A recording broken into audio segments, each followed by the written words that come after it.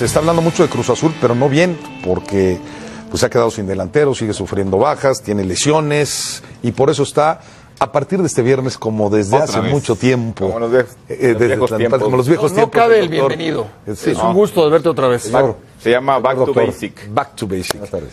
¿Qué le pasó a Caraglio? Chelis, Bienvenido otra vez ahí. Ah, Chelis, mira que... no. Chelis va y viene, ya sabemos. Pero qué bueno que esté aquí. Esperemos- Preferimos que esté aquí. Caraglio, Preferimos que esté aquí. Ya no se vaya. Quinto metatarsiano, ¿qué es eso? mira, ¿Por qué es- se lesionó Es Caraglio muy y lesiones? interesante esa fractura y lo estaba comentando antes de, antes de que entráramos. Es una fractura que es casi siempre por sobrecarga repetitiva en el hueso, en el, en el hueso del pie que está en la parte media del pie. O sea, es mucho jugar fracturas- mucho. y ¿A no qué te refieres con eso? No tener descanso. Exactamente. Hay jugadores que previos, si se dan cuenta, esto pasó en la pretemporada. Y en la pretemporada se sobrecarga mucho al jugador. Porque aquí eh, la normativa es que el cuerpo médico muchas veces no tiene eh, a un traumatólogo en el cuerpo médico. Siempre está un médico del deporte, que es muy necesario, está un kinesiólogo, que también es muy necesario, pero debe de haber un traumatólogo. ¿Para qué un traumatólogo? En los países de primer mundo se tiene, porque el que se encarga de ver las lesiones no es el médico del deporte ni el kinesiólogo. Y en muchos equipos hasta el masajista es el diagnóstico. Lo tiene que hacer un traumatólogo deportivo. Porque eh, acuérdense el caso del América cuando Nico Castillo tiene eh, una lesión en el tobillo, entra el doctor, el médico de- del equipo, le dice no tienes nada y resulta que era una fractura de tobillo y siguió jugando. ¿En qué terminó? En un desastre, Nico Castillo. Al caso de Caraglio, probablemente lo sobrecargaron, no se dieron cuenta porque así es la pretemporada y tienes que entrar en ritmo y apúrate. Y entonces. Y si te duele algo, es normal, no te preocupes, tú Exacto. síguele, se te pasa, ahorita sigues No, saltando. Pero fíjate que ese punto es muy interesante. Pero se puede y- prever. Y, no me lo dejará mentir aquí, Paco. Muchas veces el mismo jugador no dice. Porque no quiere salirse de la titularidad, porque quiere estar a, a tope. A, Pues si es que a- estás al mal, a lo mejor no temporada. te si el contrato. No sabes- Hay una complicidad. Pero no sabes también las consecuencias que puede, que puede traer. Quizás si las supieras, dirías, sabes que me duele y me duele.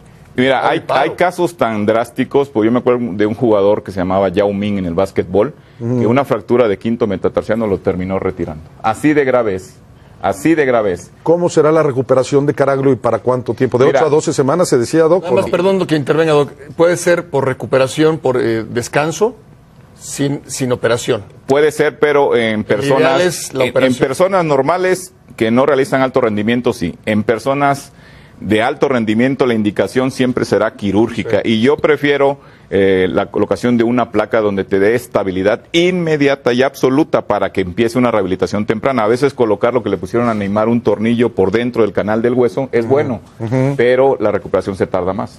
Y hoy en día, este, el saber elegir qué tipo de tratamiento es básico. ¿Tornillos y clavos?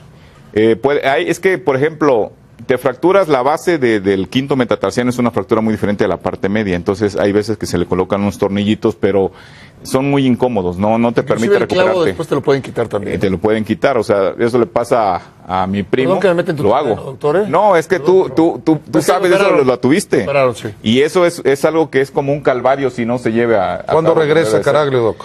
Mira, el tiempo normal son tres meses. Tres Eh, meses. Tres meses. Si podemos acelerar eso, es con tratamientos innovadores que hay actualmente, como las células madre, colocar injerto óseo y hacer una terapia que hay eh, estimulación directa en el hueso con unos este, TENS que se pueden colocar ahí y eso hace que se forme callo óseo y te refuerce la fractura y cuando sea la consolidación sea absoluta y no tengamos el riesgo de que se vuelva a refracturar, porque estas vuelven a refracturarse. Es más, que el jugador agarre confianza para correr o para saltar, Cuesta. yo digo que a veces hasta más de tres meses, pero la mayoría de los casos se va forzando al jugador, es algo que yo estoy completamente en desacuerdo. Gracias, Doc.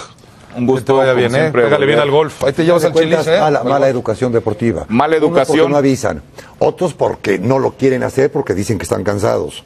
Otros porque no tienen traumatólogo. Y otro porque no- Mala educación deportiva. Pero en viene desde arriba casos. del fútbol Hombre, mexicano. La hombre. federación debe de tener un traumatólogo Sí, lo- deportivo y en aparte todos los lo que dices que es preventivo. Se puede prevenir. Y evitamos y Eso ahorramos mucho dinero. Ahorramos Hombre, dinero. acti- tus activos. Gracias, mi Doc. Gracias, gracias. ¿Dónde Bueno, nos vemos? Eso ¿Qué campo de cuesta. golf? vamos. Nos ¿Qué campo de vemos golf mañana? en este fin de semana. No vamos a ver el, el debut de Pumas. Ahí los espero. No, bueno, pues. Saludable fin de semana. hora. Mucha suerte, mi querido Doc. Bueno, las bajas de Cruz Azul, Madueña que se fue a Chivas, Angulo que se fue a Tijuana, muy poca oportunidad tuvo en Cruz Azul, se fue a Tijuana. Salas que estuvo lesionado y que por ahí al final trató de, de- de- de mantenerse, va a Puebla, que Puebla parece que más o menos tiene un buen plantel, Eustaquio que tuvo una lesión muy seria cuando llegó al fútbol mexicano, se ha ido al fútbol de Portugal. Cauterucho, que se fue al Estudiantes de La Plata. Fernández, esta de Paul Fernández es la más reciente, se va a préstamo con Boca Juniors, estaba considerado para iniciar contra el Atlas mañana y va a jugar ahora con Boca Juniors. Y Méndez, el español que está transferible. ¿Para qué tiene plantel Cruz Azul, Chelis? ¿Para ser campeón, para, lo liguilla mismo, o para qué? Para, para lo mismo de la temporada pasada. Este, son los mismos. O sea, de los que, de los que nombraste, ninguno venía jugando. y, y es- y el español llega mañana, o si no es que llegó ayer en la noche. Para lo mismo, el problema de Cruz Azul no pasa por ahí, el problema de Cruz Azul viene por arriba. Y ¿Qué entonces es, sea, por arriba, por dónde? Para mí, porque para mí el jugador, el jugador es, es- es un ser que se distrae mucho, muy distraído ¿Y en Cruz Azul se distrae más o qué? en, en cualquier, si tú le das el problema, si tú estás arriba, hay problemas, el jugador se distrae, no está, no está fijo en lo que tiene que hacer, y los problemas de Cruz Azul están arriba, no están en la cancha.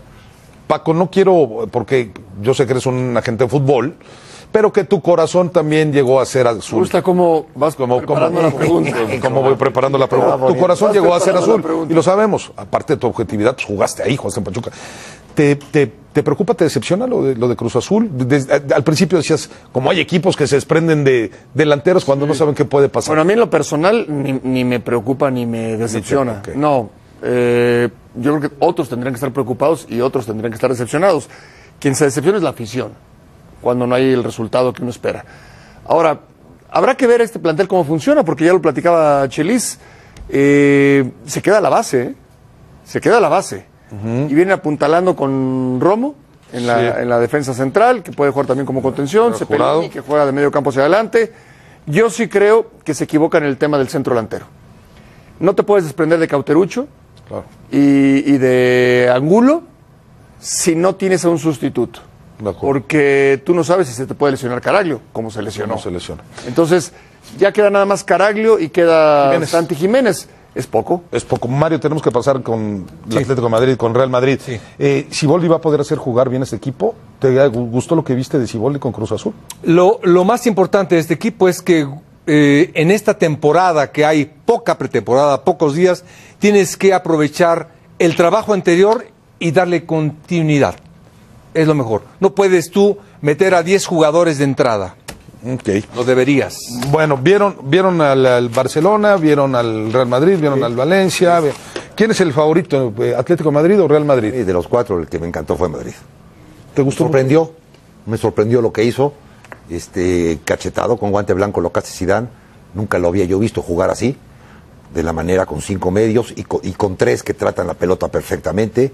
Este Isco tiene que jugar sí Isco, sí, con un centro delantero que para mí es, fue el- es su el, el menos bueno, su centro delantero, entonces los hace jugar de una manera diferente que me sorprendió lo que hizo el Madrid este, ante un Atlético de Madrid que pienso yo que jugará Paco Mario como el primer tiempo contra el Barcelona. Tenemos, Jugarán tenemos que irnos a pausa, muy pero atrás, entonces, aunque después el resultado ¿Para se ti. Real Madrid o Atlético de Madrid? No, Real Madrid. Real Madrid. Para ti, Paco, final, Real Madrid Atlético siempre va a ser eh, eh, favorito el Real Madrid. el Real Madrid favorito. Para Claro. ti, Mario. Sí, lo que dijo eso de metiditos atrás, a mí se me hace lamentable de un equipo como Atlético de Madrid. ¿A quién le voy? Al Real Madrid. Al Real Madrid. Bueno, entonces, todos con el Real Madrid, eso pensamos. Bueno, vámonos a pausa, volvemos, estamos en los capitanes.